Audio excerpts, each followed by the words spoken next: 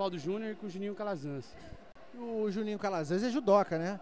Então te facilitou nessa luta aí contra o Moacir, que é um judoca também. Eu vi que você, o pessoal aqui comentando no, no site, pô, esse cara tem uma guarda xarope, guarda difícil de passar pra caramba. O outro, por sinal, tem uma base muito boa. Buscava atacar teu pescoço ali o tempo todo quando, quando você ia pra raspagem. Conta aí, como é que foi essa luta? Na verdade, o Juninho já tinha lutado com ele no, na seletiva do, do Abu Dhabi, né? A seletiva do, do, do Pro, o World Cup lá.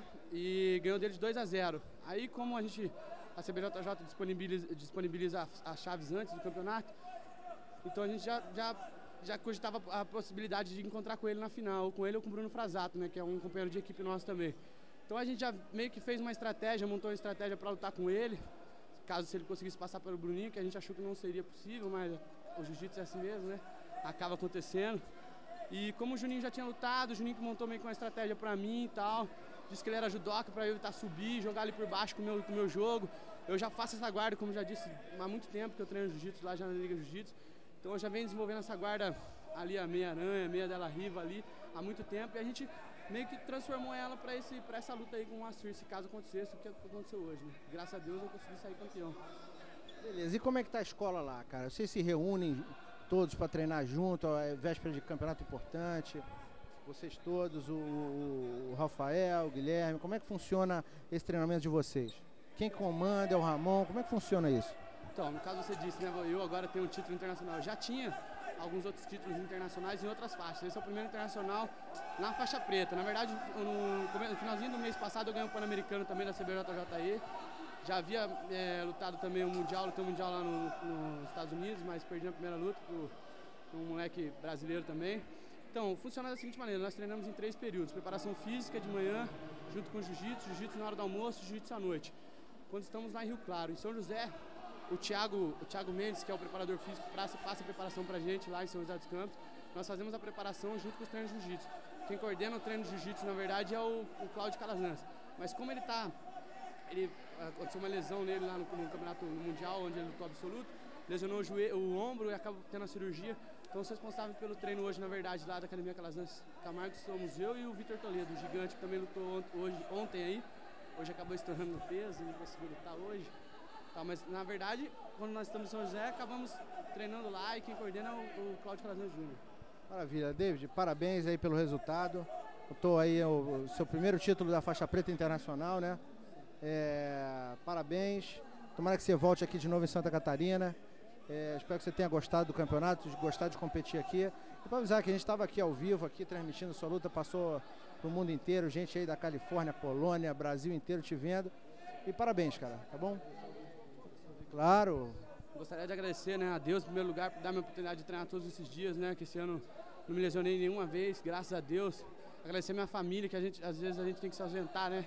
Daquele convívio com a família para estar tá treinando, para estar tá viajando, indo para Rio Claro, indo para os Estados Unidos, indo para a Europa Agradecer a minha família que me ajuda muito, meus patrocinadores, né? O, o, o César Silva, dono da construtora Dado, a Ana da, da escola de inglês Carla, que me dá uma força também, ao Robson da Snake Fight. E se eu esqueci de alguém, de alguém, me desculpa aí que a felicidade é tão grande que sei nem o que dizer nessa hora, mas muito obrigado aí, galera, que me dá uma força, molecada lá do treino e tal. Rapaziada, desde os faixa branca até os faixa preta, muito obrigado aí, agradeço a Deus. E é isso aí, bola pra frente. Espero que, que eu esteja no próximo aí, defendendo esse título. Beleza, aí tá concorrendo ainda ao sorteio de mais uma passagem que a Bad Boy está oferecendo para o europeu. De repente você vai lá ganhar outro título lá. Tá bom? É isso aí. Parabéns, boa sorte aí. E obrigado por ter, ter vindo aí falar com a gente.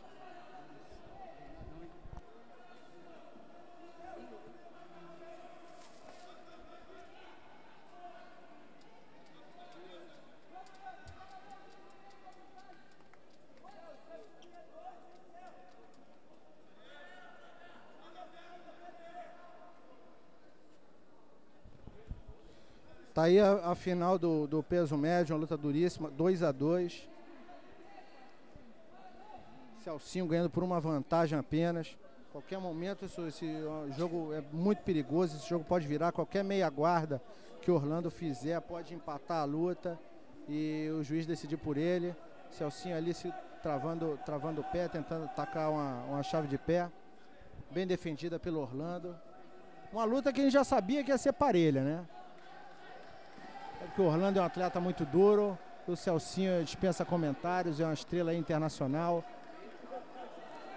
Celcinho aí na, na guarda 50-50.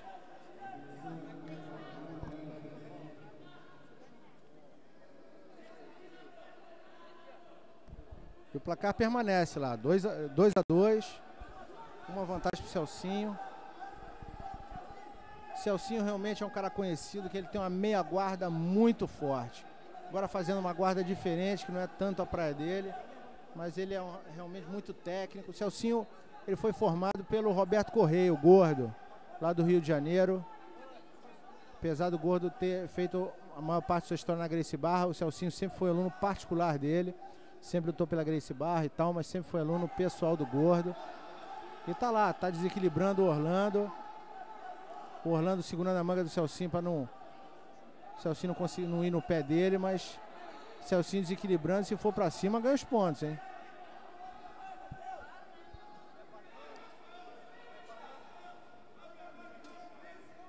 Realmente essa, essa posição da 50-50, a guarda 50-50, é muito complicada. Ela precisa ser, ser muito estudada ainda para a gente conseguir descobrir, pegar a manha, descobrir qual é o ponto certo de equilíbrio, de defesa ou de, de, de, de defesa de uma raspagem ou de algum ataque de, por quem estiver por baixo, enfim.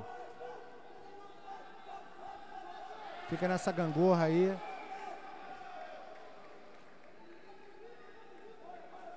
É uma posição que se pode, pode ainda ficar ali muito tempo e no finalzinho você conseguir um desequilíbrio e ganhar. Então é realmente é muito complicada. Guarda polêmica, muita gente durante o ano inteiro ficou quando ela depois que ela surgiu, muita gente ficou falando que a guarda era, era uma maneira de amarrar. Mas quer dizer, é uma posição nova, se é uma posição nova, é, a gente tem que descobrir como é a defesa que ela tem, né? Então eu acho que é, foi válido. E se hoje é um bicho de sete cabeças, pode ser que amanhã não seja. E toda posição nova no jiu-jitsu é bem-vinda, porque isso que faz a evolução do esporte. O placar lá continua 2 a 2 com uma vantagem para o Celcinho.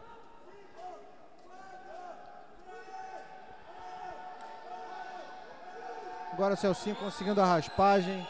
Marca mais dois pontos e a luta encerra.